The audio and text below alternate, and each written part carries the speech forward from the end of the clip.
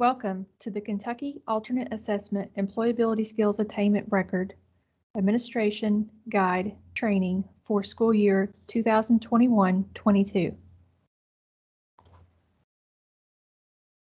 This module will walk you through the Employability Skills Attainment Record Administration Guide. Most slides will reference specific pages. Please print a hard copy or access an electronic version from the Kentucky Alternate Assessment Program KAAP webpage before continuing this training. The Employability Skills Attainment Record referenced to as the ESAR, ESAR, is one of the four components of the Kentucky Alternate Assessment. The ESAR was developed for students with significant cognitive disabilities in an alternate course of study and working towards the alternative high school diploma. The ESAR is designed to provide a career readiness measure within the post-secondary readiness indicator of Kentucky's accountability system. There are two ways for students to demonstrate post-secondary readiness within the Kentucky's accountability system. Students must earn a high school diploma or be classified as a grade 12 non-graduate and meet the requirements of one type of readiness, academic readiness or career readiness. In alignment with regular assessment, the achievement of the career readiness is not mandatory. The accountability system allows for meeting the requirements of the uh, academic readiness or career readiness. However, school districts must provide students opportunity and access to work toward career readiness. This includes students participating in the alternate assessment. The ESAR is a rating scale that assesses student demonstration of skills linked to the employability and foundation's academic standards alternate assessment, typically referred to as the EFASAA or EFAS. The standards within the EFAS align with a subset of the standards assessed by the Career and Technical Education End of Program or EOP assessment for alternate for articulated credit and the CTE pathways standards documents. The EFAS standards are included in Appendix A of the administration guide. The ESAR includes 30 items. The ESAR is administered to all 12th grade students working toward achievement of career readiness status within the post-secondary readiness component of Kentucky's accountability system. Working towards means the student has completed the coursework leading to the career work experience certification or is in the process of completing the courses. The courses are documented on the student's multi-year course of study and transcript. A student in grade 11 may be assessed early if the student has completed the first two courses leading to the CWC and is scheduled to complete the remaining two courses before graduation. This slide shows coursework leading to the CWC and the conditions for early ESAR assessment of students in grade 11. The requirement means the student has already taken developing career options and developing leadership skills as indicated on the student high school transcript. And before graduation, will complete the experience and workplace principles and individualized career work experiences. A grade 14 student has continued opportunity for assessment on the ESAR if the benchmark has not been met previously at grades 11 or 12. Note, the ESAR is administered, is not, I'm sorry, is not administered to students with a graduation code.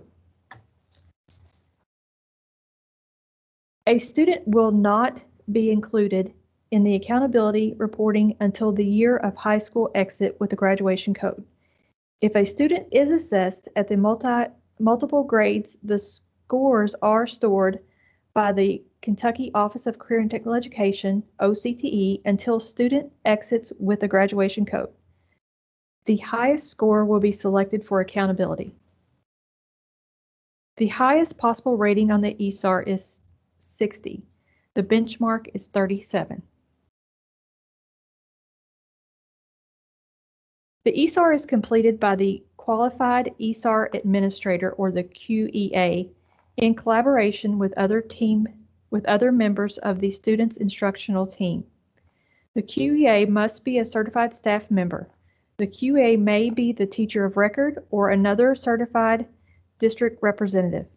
The teacher of re record is typically the primary special education teacher of the student who is most familiar with the student's performance across multiple settings. Other team members include the special education teachers other than the QEA if a student has more than one special education teacher. General education teacher or teachers, depending on the extent a student participates in the general education program.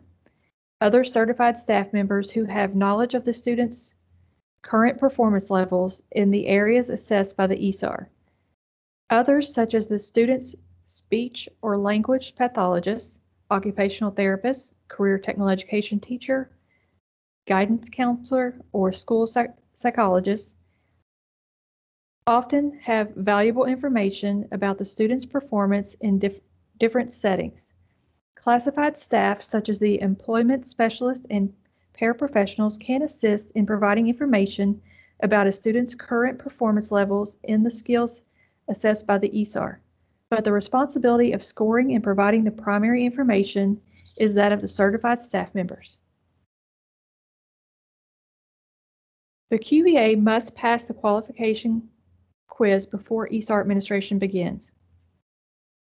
Upon successful completion of the quiz, the QA may be prompted to download the, the ESAR. Only a QA will be able to assess the ESAR from the KAEP system.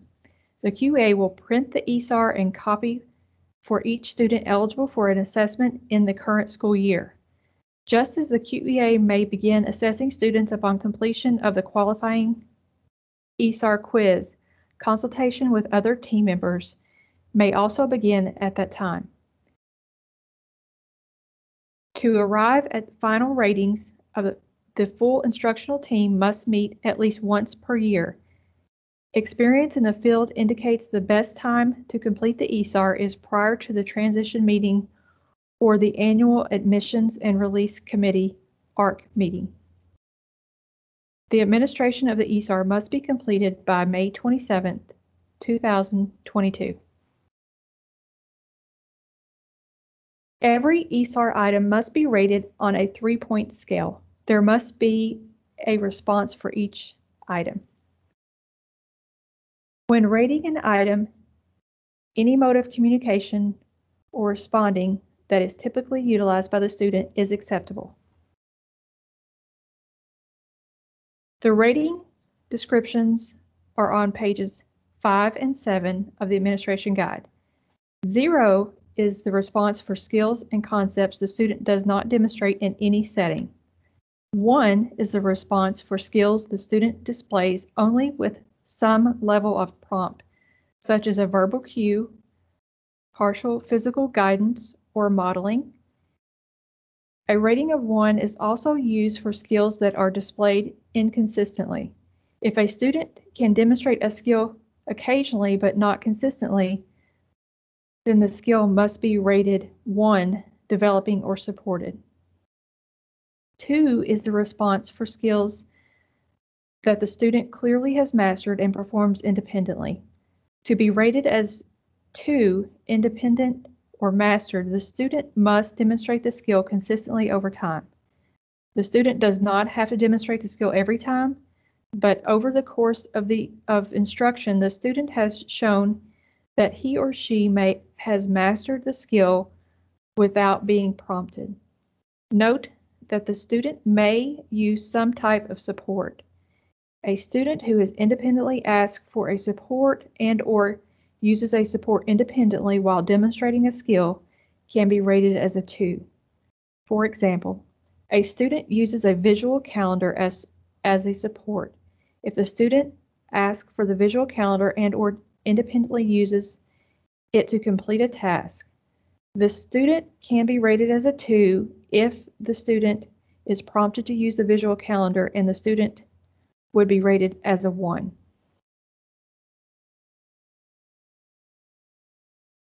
Some ESAR items are scored based on performance at a work site.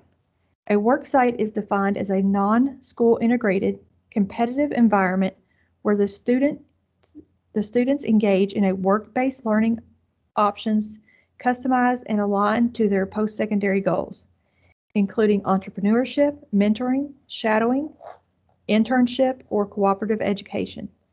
For careers found only in educational settings, the placement should be outside of the school's the student's school of attendance. The rationale supporting the worksite definition is provided in Appendix B. The general instructional cycle followed by teachers and related services personnel typically includes the steps outlined on page 8 of the administration guide. Embed the standards within the EFAS into instruction curriculum, and IEPs as appropriate.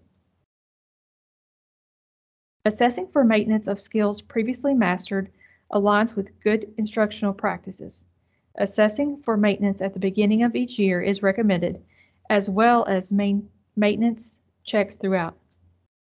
Skills not maintained should be included in the current year's instruction.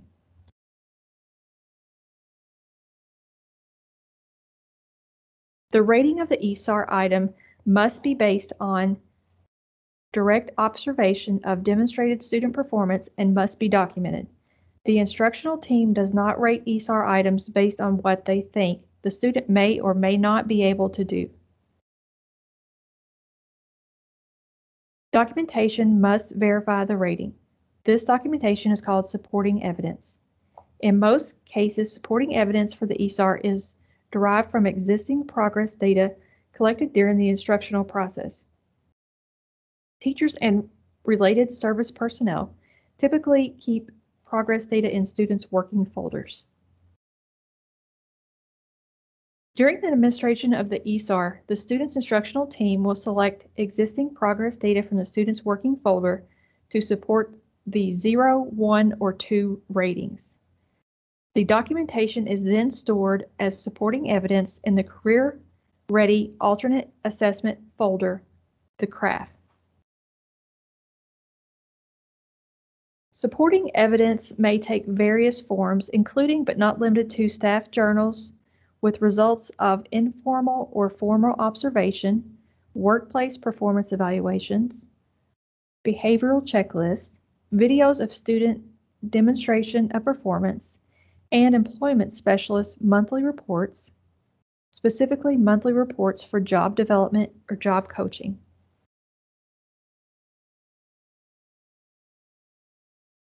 Existing documentation for a skill assessed by an ESAR item may be dated within the last four years. However, when a student masters and performs a skill independently in the previous year, an activity or observation to check for maintenance of the skill must be performed during this, the school year of the ESAR administration. To re retain a previous status that a student has mastered and performs independently, the current year performance check must indicate the student continues to demonstrate the, skill, the skill consistently over time. The ESAR item rating must be based on the current year performance check. The check for maintenance takes precedence over previous data and substantiates the response selected on the ESAR.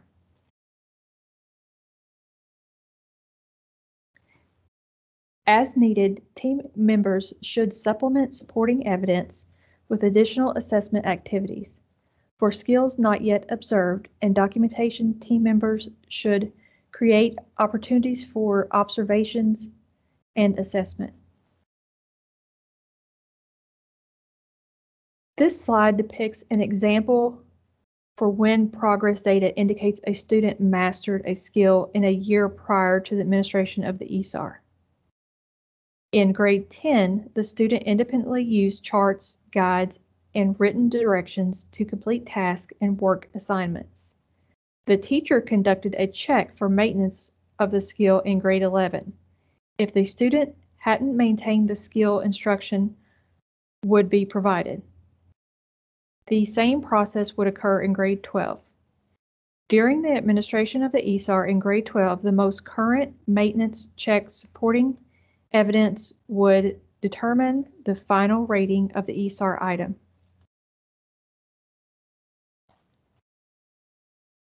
In this example, the student is able to independently use charts and, and guides, but hasn't mastered written directions to complete task and work assignments.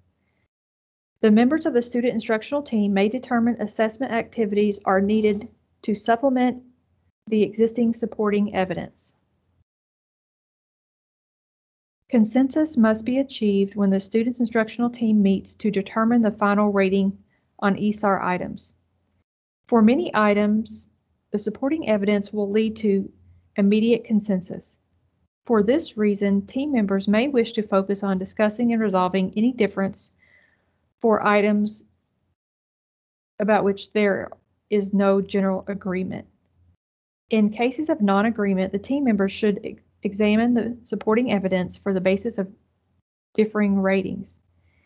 If team members cannot reach agreement for or if they determine the student demonstrates different performance levels at different times or under different conditions, the lowest of the ratings being considered must be assigned to the item.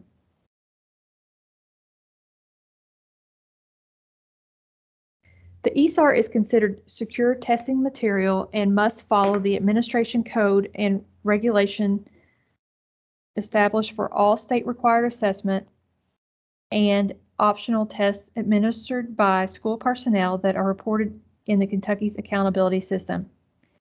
703 KR 5080 Administration Code for Kentucky's Educational Assessment Program can be reviewed in its entirety on the KDE website. The link to the re regulation is provided on page 10.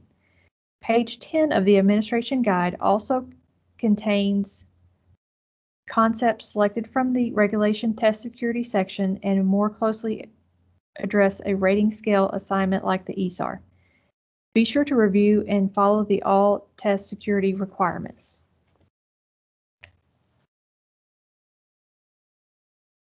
The Career Ready Alternate Assessment folder, CRAFT houses the documentation for the ESAR and the Career Work Experience Certification, CWC the second measure of the career readiness. The Qualified ESAR Administrator, or QEA, is responsible for maintaining the craft. After completing the ESAR training and qualification quiz, the QEA will print the ESAR certificate and file in the craft. Provide a copy to the BAC or DAC. File the student information page in the craft. File a signed copy of the complete completed Code of Ethics in the craft, download the ESAR and copy for each student eligible for ESAR administration, maintain the ESAR in the craft when not in use, and file the completed ESAR and documentation in the craft at the end of each school year.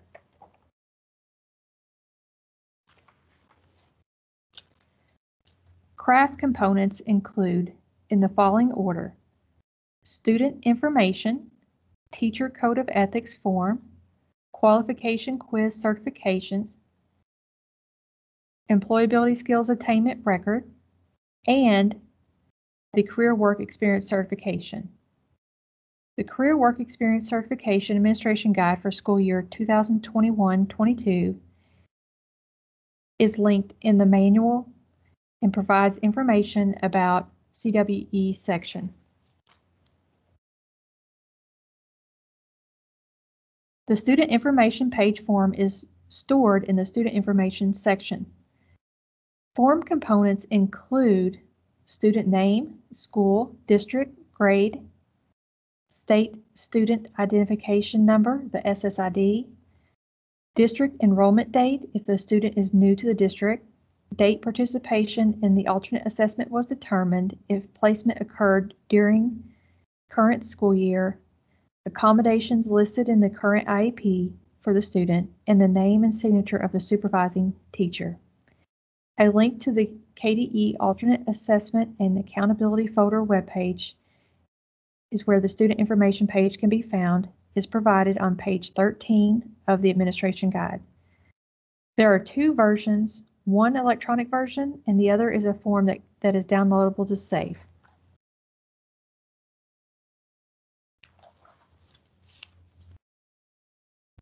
School personnel assisting with the administration of the ESAR must sign the Code of Ethics. The Code of Ethics must be provided to acknowledge that the school personnel have read and agreed upon agreed to comply with all policy areas shown on the slide, including the professional ethics, educational defensibility, student ownership, accommodation, and student performance. If the QA has multiple career folders, the signed code of ethics may be duplicated for placement in each. Any non-school personnel who assist with the ESAR administration should sign a non-disclosure form, which is filed in the craft. A link to the forms are provided on page 12 of the administration guide. The qualifying quiz certification component of the craft houses the ESAR certificate, documenting the QEA successfully completed the qualification quiz. The ESAR certificate is printed from the online training system, the OTS, housed on the Kentucky Alternate Assessment Program, KAP website. A copy is placed in the craft and one copy for is provided to the BAC or DAC.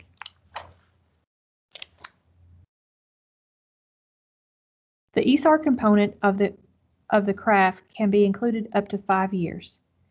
The number is dependent upon when and how many times the ESAR is completed for a student. If the ESAR is completed early at grade 11, the folder section begins that year. If not, the ESAR documentation begins at grade 12. A reminder, the ESAR is required for all students at grade 12 working toward career readiness designation within the accountability system. If the student exists with a grade or graduation code, I'm sorry, if the student exits with a graduation code at the completion of grade 12, the ESAR documentation ends at, at grade at that grade level. If the student does not meet benchmark in grade 11, if eligible for early administration, or grade 12, and continues receiving services as a grade 14 student, they may continue to be assessed on the ESAR. A section is added for each grade 14 year until the student either meets benchmarks or exits with a graduation code. The ESAR documentation is kept each year and includes the completed ESAR and supporting evidence, anecdotal notes regarding specific student information on the ESAR, and documentation concerning the meeting to complete the record who, where, and when.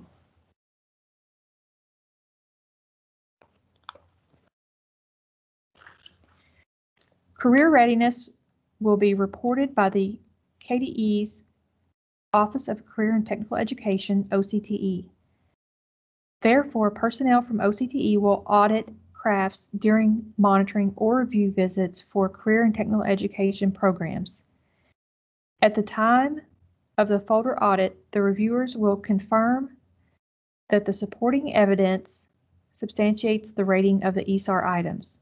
At the local level, DACs may choose to monitor the craft to review programming and assessment compliance. This is a district level decision. The QEA reports the rating of the students' ESAR performance levels to the Kentucky Department of Education. The QEA transfers the ratings for the 30 ESAR items to the Career Ready database, CRD. The CRD is housed on the KAAP website. June 3rd, 2022 is the last day to enter scores in the CRD. Grade 12 students are entered into in the CRD by KAEP personnel. Grade 11 student eligible for early administration will not appear in the CRD, nor will students in grade 14. The DAC, DOS, or district level administrator registers a student in the database, then contacts Sherry Craig or Daryl Mattingly to request the student record be open. Once the student record is open, scores may be entered into the CRD. So again, a grade 11 student eligible for early administration will not appear in the CRD, nor will students in grade 14.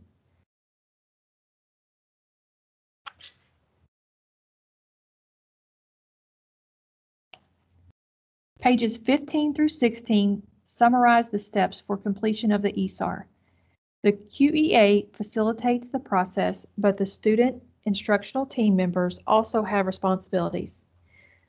When school begins, the QEA and instructional team members begin instruction in the EFAS document student progress and maintain progress data in the student working folder. The QEA must complete the ESAR training and qualification quiz in the OTS by December 22nd, 2021. The ESAR quiz will close on December 22nd, 2021. The QEA prints and files the ESAR certificate in the craft. Provide a copy to the BAC or DAC. Next, the QEA files the student information page in the craft. The QEA and school personnel assisting with administration of the ESAR sign the Code of Ethics. The QEA files a copy of the signed Code of Ethics in the craft. Non-school personnel who assist with the completion of the ESAR sign a disclosure form. The QEA files the form in the craft. The QEA downloads the ESAR from the OTS and makes a copy for each student eligible for the ESAR administration. The QEA completes the ESAR demographic information for each student. During the school year, the QEA and instructional team continue instruction on the EFAS document student progress and maintain progress data in the student working folder. The QEA rates ESAR items based on supporting evidence. Throughout the year, the QEA consults with the other team members who may provide supporting evidence. The QEA keeps the ESAR and supporting evidence in the craft within the secure location when not in use. During the instructional team meeting or other meetings if needed, the QEA reviews the ESAR directions with the instructional team members. Together, the team reviews all standards and test items for common understanding. Then instructional team members discuss each item and supporting evidence. They jointly decide how the student's performance on each item should be scored, either as a 0, 1, or 2. The QEA documents the ratings and gathers the supporting evidence for each test item.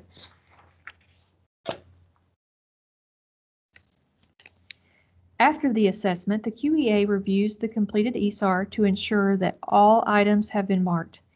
The QEA then stores the finalized ESAR and supporting evidence in the craft within a secure location. By June 3, 2022, the ESAR, the QEA must transfer the ratings of the student performance to the CRD housed on the KAEP website. So again, by June 3, 2022, the QEA must transfer ratings of the student performance to the CRD housed on the KAEP website. This concludes the ESAR training module. You may complete the ESAR qualification quiz on the KEP website. Review the ESAR administration guide if needed before assessing the quiz. You will have three opportunities to pass the quiz. Upon the third unsuccessful attempt, you will be locked out of the CRD system and must notify your DAC, DOS, or district level administrator. Upon successful completion of the quiz, you will be granted access to the ESAR. best wishes on the quiz and for the 2021-22 school year.